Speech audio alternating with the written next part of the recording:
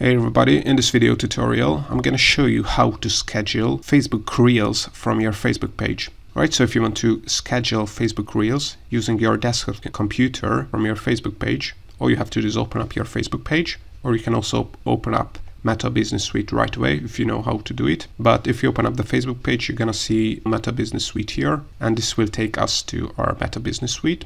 And now if we want to schedule a reel on our Facebook page, all we have to do is click on content on the left here. Then click on create reel in the top right corner here. Then first we have to add the Facebook reel video we want to use. And now as you can see you can preview the Facebook reel you have here. You have many options to edit the Facebook reel. So you can add a thumbnail here. You can choose a frame of the thumbnail or you can also upload a thumbnail image if you want to do that. But right now I'm okay with the one Facebook has suggested. So add the Facebook caption reel here.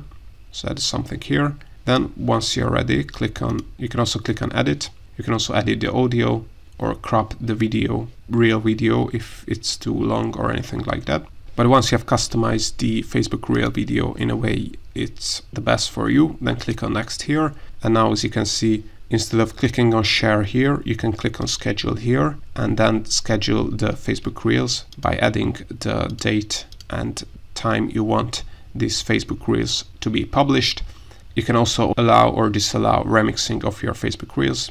Let's say we disable this now and once you have specified the date and time you want this Facebook Reels to be scheduled, just click on the schedule button and this Facebook Reel will be scheduled to go live on December 21st.